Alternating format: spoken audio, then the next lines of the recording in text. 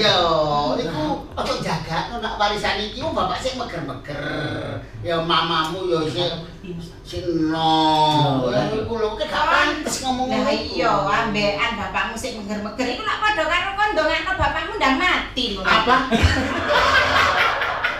Eh, Lah iya, Cak. sama istirahat ralat. Iku lak jenenge ndongakno sampean ndang mati. Yo gak ngono, Lek Lek. anakku mungkin ndongakno aku ndang mati. Mesti ku sampean sing garep arep ndang mati. Gak oleh ngono iku rek. Ya gak ngono, Mak. Terus terang ae aku ya kepengin bapak mbek emak iki panjang umur. Bener ngono.